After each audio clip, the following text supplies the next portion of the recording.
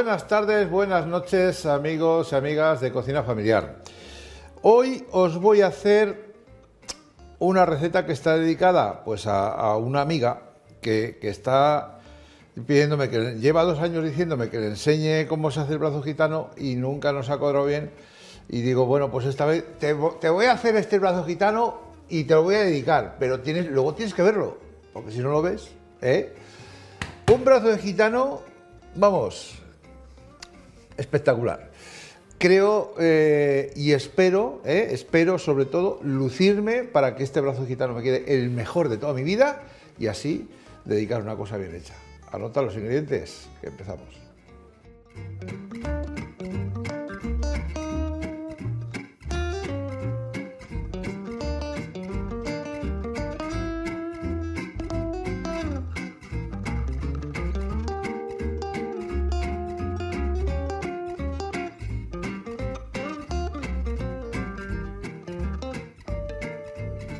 Vamos a montar la nata.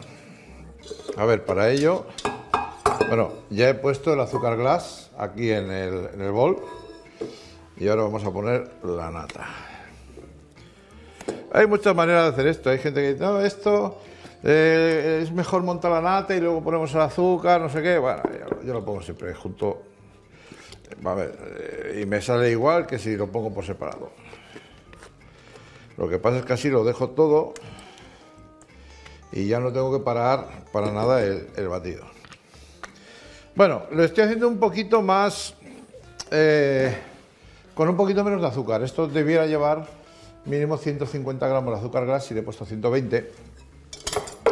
Porque como después en la, en la tarta va a haber mermelada de fresa también, pues como que también le va a aportar dulzor. Y ya sabéis que si vamos consumiendo menos azúcar, nos irá mejor.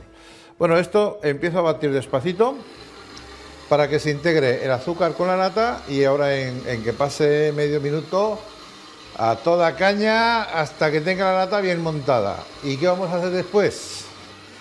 Me lo voy a preparar ya para que no se me olvide. No, no, no se me olvide, si lo tengo presente.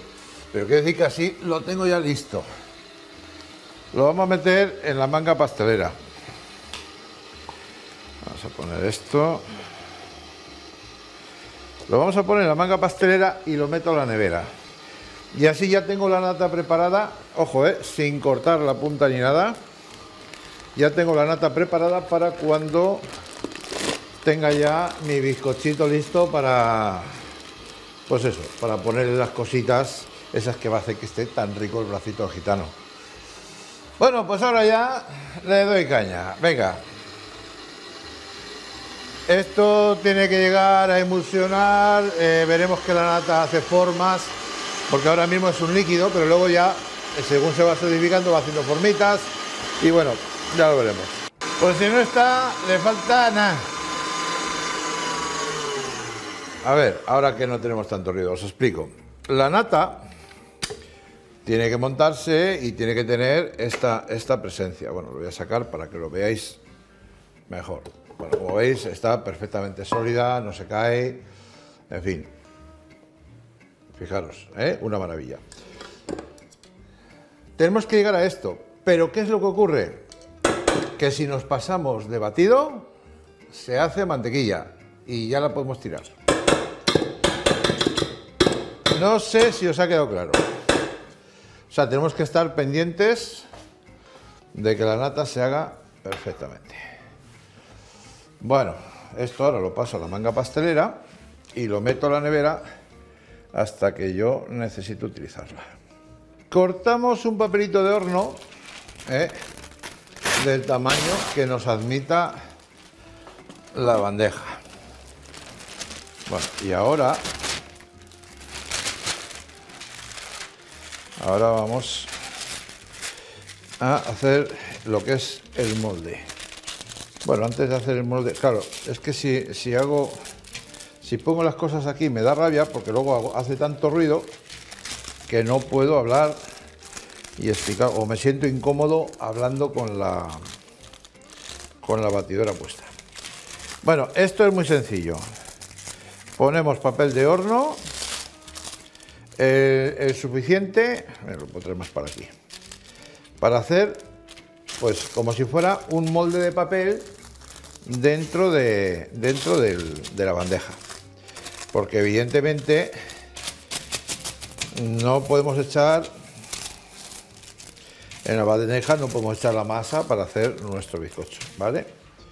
Bueno, voy a ponerme por aquí que no se me olvide el spray desmoldante que es muy importante para que luego podamos despegar perfectamente la plancha del papel porque antes se me quedaba siempre una parte del bizcocho pegada aquí y luego dije, hombre, ¿y para qué tengo yo el aceite desmoldante?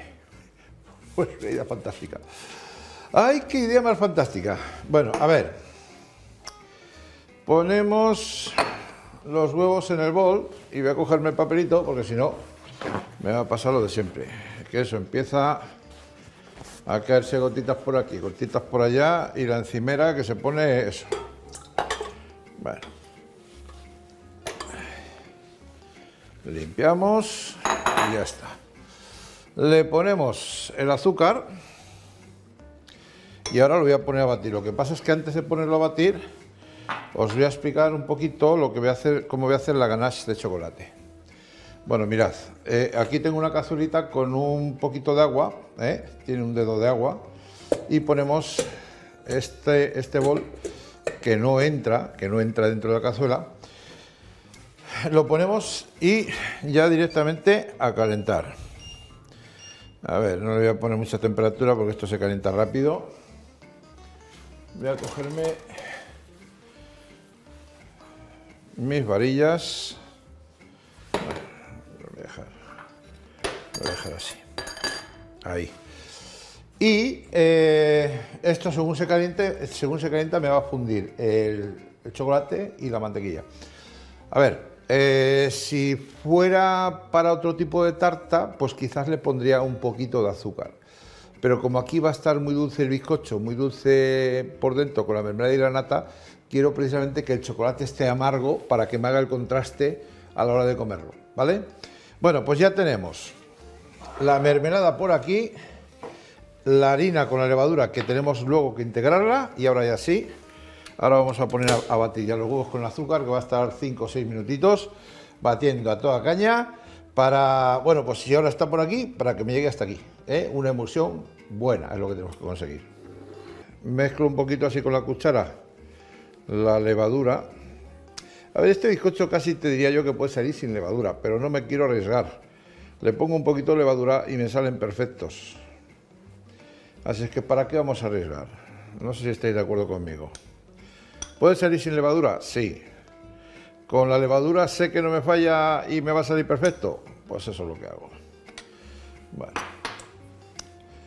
Tamizamos la harina con el tamizador atómico, el de toda la vida, oiga.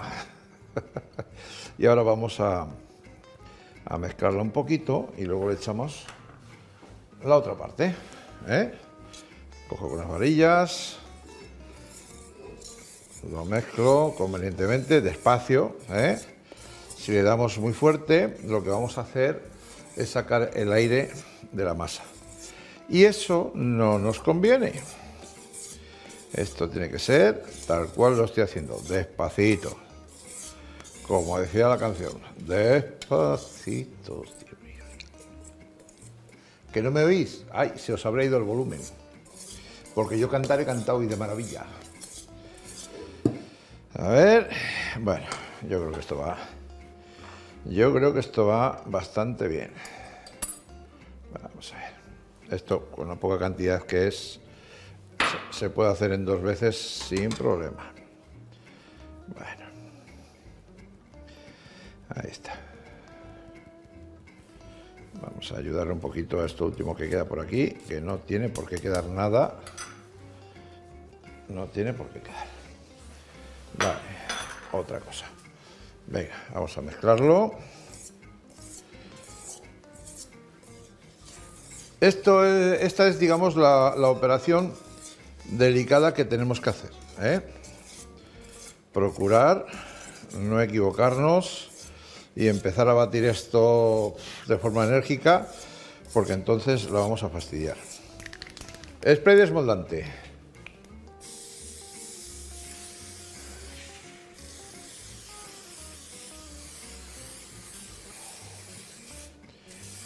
Con esto verás tú qué alegría te das luego cuando ves que sale el papel y el bizcocho sale perfectamente enterito por hacer esta operación. Estamos como en Londres con la niebla. Bueno, venga. Qué masita tenemos aquí, ¿eh? Qué masita tan imponente. Jo. Oye, pues que le he cogido el gustillo a esto a, los, brazos de gitano. Mira, esto tiene una anécdota. Se llama brazo de gitano. No porque pasa un gitano por la calle se le corta el brazo y, ya está. No, no, no. A ver, esto en la antigüedad, hace muchos, muchos años, pues eh, ya sabéis que la, religión cristiana pues siempre mandaba mensajeros de Dios y eh, mandaba pues, a, sitios que querían convertirlos al cristianismo. Y hubo un, misionero español que se fue a Egipto. Se fue a Egipto allí, que quería convencerles a todos que dejaran a Ra y a todos estos dioses y que se pusieran con el nuestro. Bueno, pues el caso es que allí descubrió eh, este tipo de pastel. Y de hecho, se llama brazo gitano, pues lo mismo que la olla podrida sale de olla poderida, ¿eh? poderida, y al final termina en olla podrida porque es mucho más cómodo nombrarlo, pues eh, el misionero este, monje o lo que fuera, pues llegó aquí enseñando a la gente el brazo de egiptano. Claro, de decir egiptano a decir gitano, anda con una diferencia. Pero esto, bueno, pues aquí se llama brazo gitano, hay sitios que se llama pionono, hay otros sitios que se llama de mil maneras diferentes. Pues eso es lo que quiero que me digáis. ¿Cómo se llama esto en vuestro país? Porque a, mí me ve gente de todo el mundo. ¿Cómo se llama este, este tipo de tarta, pastel o como lo queráis llamar en vuestro país? En vuestro país? Vamos a jugar un poquito porque jugar a, aprender es uno de los mejores juegos que podemos hacer. ¿eh? Bueno, pues esto más o menos creo que lo tengo. Así lo voy a dejar. Y así se va el horno. Insisto, 180 grados, calor arriba y abajo sin ventilador y esto, como es una bandeja que se estira y se encoge, la voy a poner aquí en la última posición de la parrilla. 12 minutos y lo saco.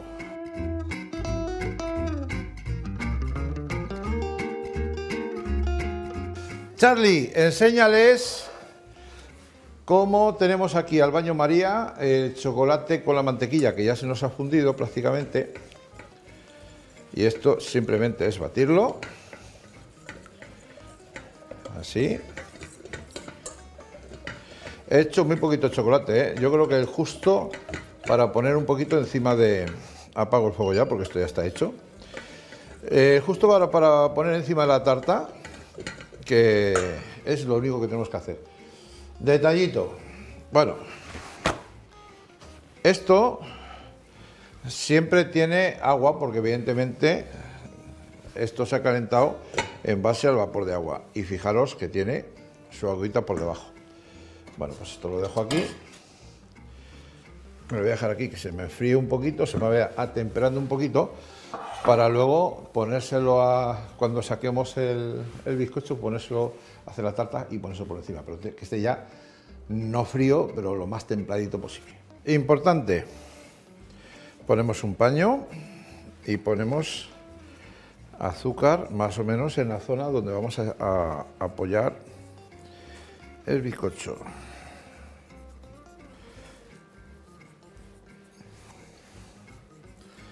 Esto es grande, este bizcochito es grande. Este bizcochito tiene su tamaño. A ver. Vamos a ver. Apagamos horno.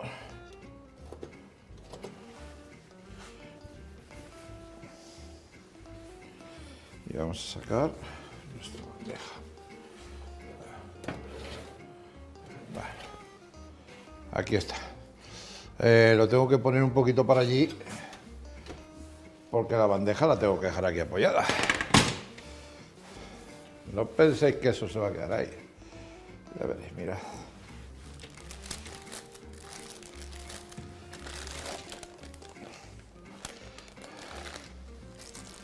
Y ahora, ¡epa! No te me caigas. Lo volcamos donde pusimos el azúcar y fijaros lo que os dije del spray desmoldante.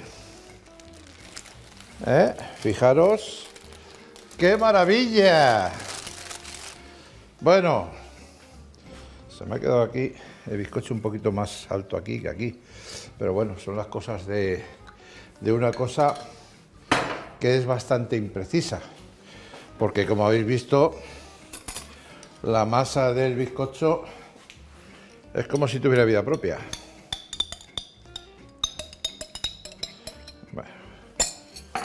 vamos a poner la mermelada bien estiradita, ¿eh?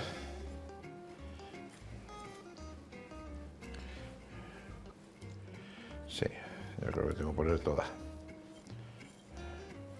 Esto en caliente es como mejor se hace. Esta operación, la de la mermelada, la nata nunca se la pongáis en caliente, ¿vale? Si ponéis la nata en caliente, ya os digo yo que vais a tener un accidente. Porque la nata, otra cosa no querrá, pero calor tampoco. Para esto no nos hace, no nos hace falta ni boquilla, ni nada que se le parezca, ¿vale? Bueno, ahora entonces nos vamos a empezar a ponerle nata. Dejamos un poquito en el borde sin poner.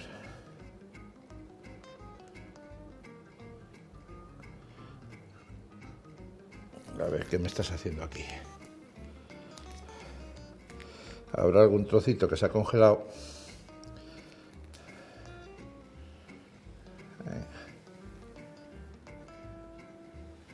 Así. Esto no pasa nada porque esté irregular aquí, porque eso es interior. Esto luego se va... Ahora lo vamos a envolver. ¿eh? Bueno. Le pongo una tira más. Y se acabó.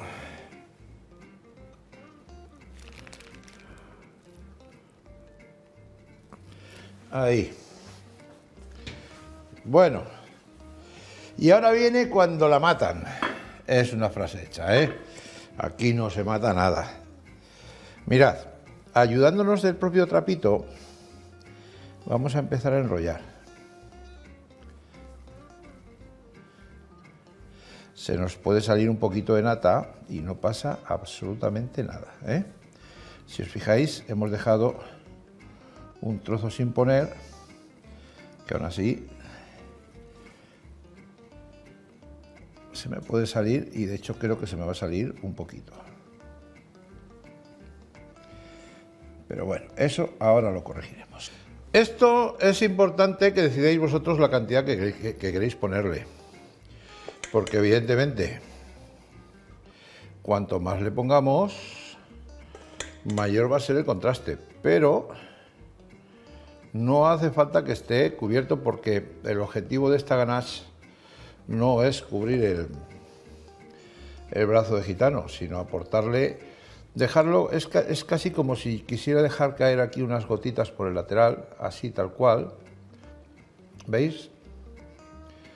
Quiero que se caigan esas gotitas y que me haga ese efecto de chocolate chorreando, que lo que va a hacer va a ser, bueno, pues alterarme el sabor luego cuando lo comamos.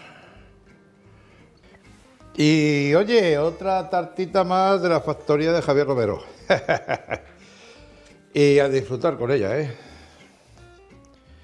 A disfrutar con ella, pero cosa fina. Sí, me hace falta una más. Esta, por ejemplo, esta pequeñita. Venga. Ahí estamos. Una y otra. Oye, ya que estoy, voy a hacer una prueba. A ver, me han sobrado fresas. Me han sobrado chocolate. No, no me ha sobrado el chocolate porque me lo han quitado ahí. Yo quiero a, untar la fresita en el chocolate y ya. Mmm. Me han matado. No voy a decir quién ha sido, aunque todos os lo imagináis.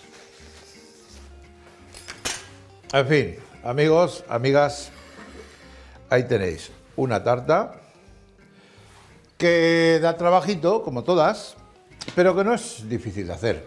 Así es que estoy deseando que la hagáis para que me digáis qué os ha parecido, ¿vale? Venga, hasta siempre.